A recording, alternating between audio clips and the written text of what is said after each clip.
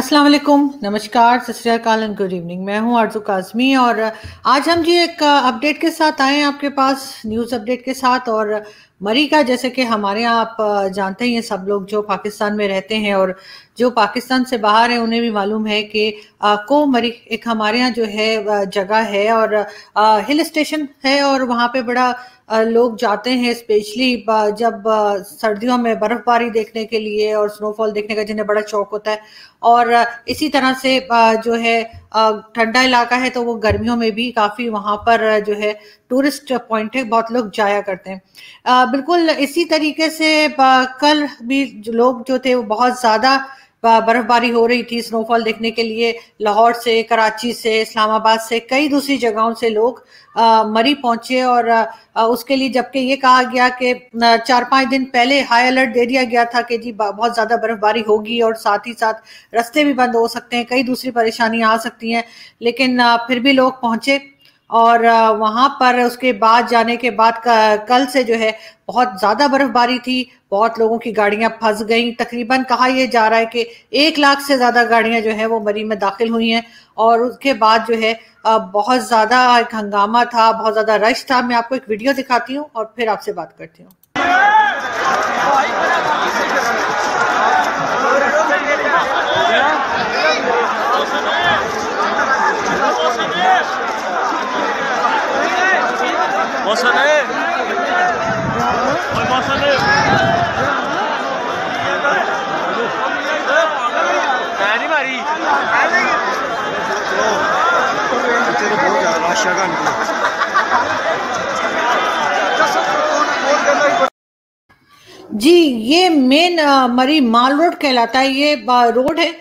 और एक लंबी सी एक रोड है, दोनों तरफ़ इसके जो है वो होटल्स हैं और शॉप्स हैं और यहाँ पर अक्सर टूरिस्ट जाके और घूमा करते हैं और जाते हैं। लेकिन अभी आप देख सकते हैं किस तरह से रश है, किस तरह से लोगों की गाड़ियाँ फंसी हुई हैं और लोगों से बार बार कहा गया, लेकिन लोग नहीं माने, लोग वहाँ पे पहुँचे और अनफॉर्चुनेटली आज जो है वहाँ पर जिस तरीके से गाड़ियाँ फंसी हुई थी, तकरीबन 20 लोग ऐसे हैं जिनकी गाड़ियों के अंदर ही डेथ हो गई हैं, जिसमें बच्चे भी शामिल हैं, बड़े भी शामिल हैं अब बहुत अनफॉर्चुनेट चीज़ है, लेकिन जैसे हम देख रहे हैं कि हमारे पास कोई इस तरह की सहूलत वहाँ पे नहीं थी, कोई फैसिलिटी नहीं थी जिससे उन लोगों को बचाया जा सकता है जिससे फौरी तौर पे इमरजेंसी लगा के किसी तरीके से उन लोगों को बाहर निकाला जा सकता है ये चीज़ गवर्नमेंट को बहुत पहले देख लेनी चाहिए थी, लेकिन ऐसा नहीं हुआ। और उसके बाद हमने ये अनफॉर्चुनेट इंसिडेंट देखा और इस तरह की खबरें हमें मिली और हमने देखा, लोगों के अब लिस्ट भी आ गई है, लोगों के नाम भी बताए जा रहे हैं, उम्रें भी बताई जा रही हैं।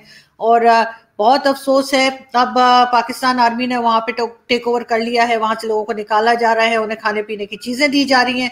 जो लोग होटल में हैं, उनसे कहा जा रहा है कि वो होटल के अंदर ही रहें, होटल से बाहर ना निकले। हम एक वीडियो देखते हैं और फिर बात करते हैं।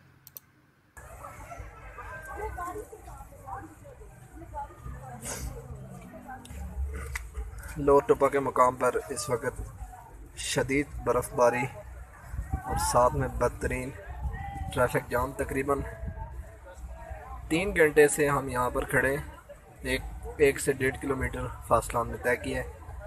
पाँच बजे से हम यहाँ पर हैं। और इस वक्त शदीद बर्फ़बारी है और ट्रैफ़िक बदतरीन किस्म का जाम है। लाइव बर्फ़बारी देख सकते हैं आप। बहुत शदीद बर्फ़बारी हो रही है। जी, ये उन लोगों की वीडियोस है जो वहाँ गए हैं घूमने के लिए लिए गए थे और घूमने फिरने गए थे, उन्होंने वीडियोस बना के लगाई किस तरह से वो फंस चुके हैं। लेकिन, अफसोस की बात यह है कि आज भी जबकि वो शेख रशीद साहब ये कह रहे हैं, जो हमारे मिनिस्टर है, उनका कहना है कि जी, कल रात से मरी का रास्ता बंद कर दिया गया है और किसी को वहाँ जाने नहीं दिया जा रहा। जो लोग वहाँ पर मौजूद हैं, उनसे कहा गया है वो होटल से बाहर ना निकले। होटल्स भी तकरीबन ऑलमोस्ट सारे फुल हैं और किसी को जगह नहीं मिल रही जो अब नए जा रहे हैं, लेकिन फिर भी लोग आज रश लगा के खड़े हैं, मरी के रस्ते पे और जिद कर रहे हैं कि उन्हें मरीज़ जाने दिया जाए। और ये भी कहा गया है जी कि पिछले दस साल में, पिछले दस साल में जितनी बर्फबारी हुई थी, उसमें ये सबसे ज़्यादा रिकॉर्ड की गई है।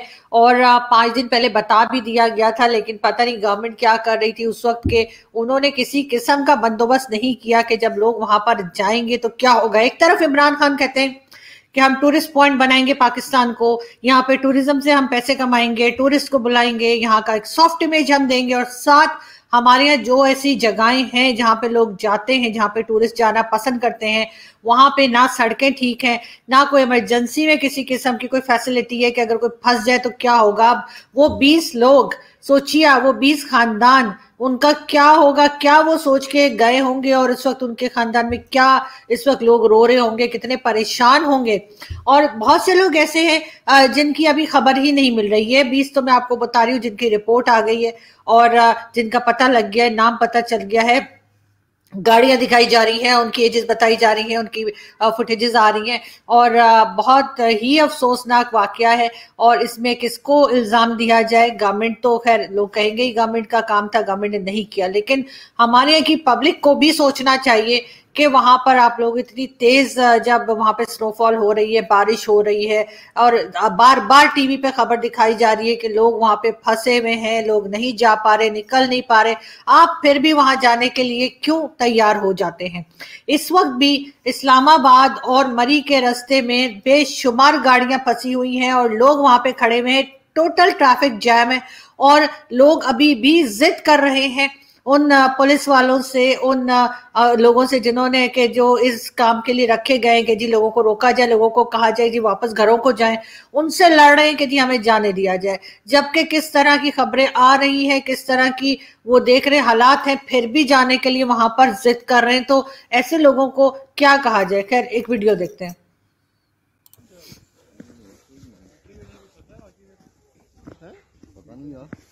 ये आगे चौक में कैम्प है ना आर्मी का। वहाँ पे लेडीज़ और बच्चों को बिठा रहे हीटर वगैरह भी है। ये ये आगे चौक में चौक से ऊपर जाना है आपने सीधा अंदर फौजी का फौज का कैंप है। हाँ हाँ हाँ नहीं सबको ने लेडीज़ और बच्चों को।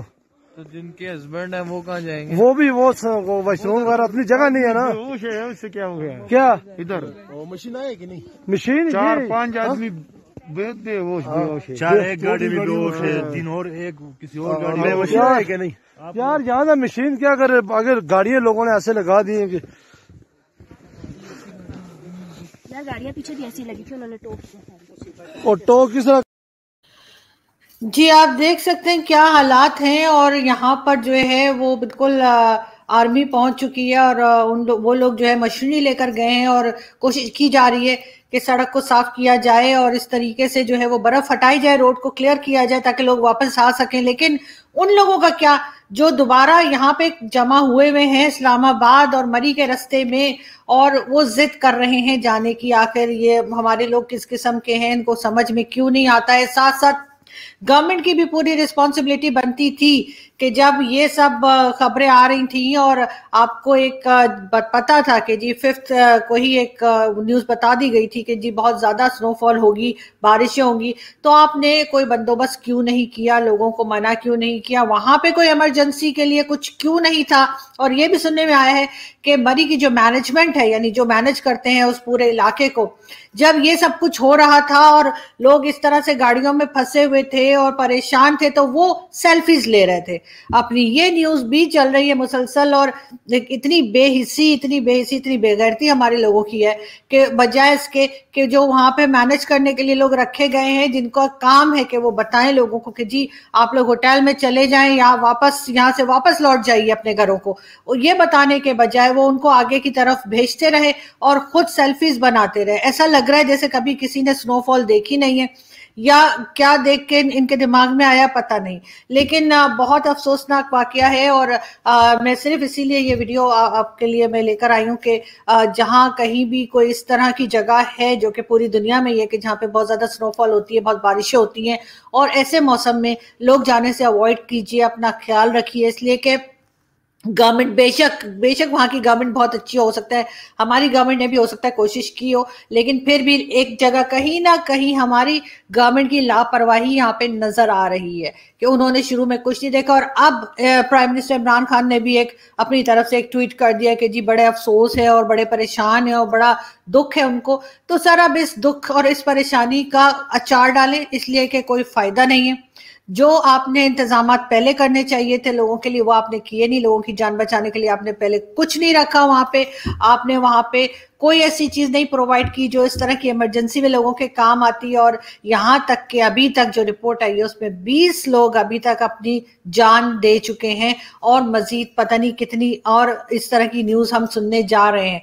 लेकिन फिर भी अगर रात से रास्ते बंद कर दिए गए हैं तो जितने लोगों हैं, लोग हैं जो फिर जाने की कोशिश कर रहे हैं। अगर कोई इनमें से मेरी वीडियो देख रहा है, मेरी आपसे रिक्वेस्ट है कि प्लीज़ अपने घरों को लौट जाइए। वहाँ जाकर आप लोग जो है और नई मुसीबत में फंस जाएँगे और नई तकलीफों में फंस जाएँगे, ऐसा मत कीजिए। अपना ख्याल रखिए अपने लिए, अपने घर वालों के लिए। बहुत शुक्रिया। Thank you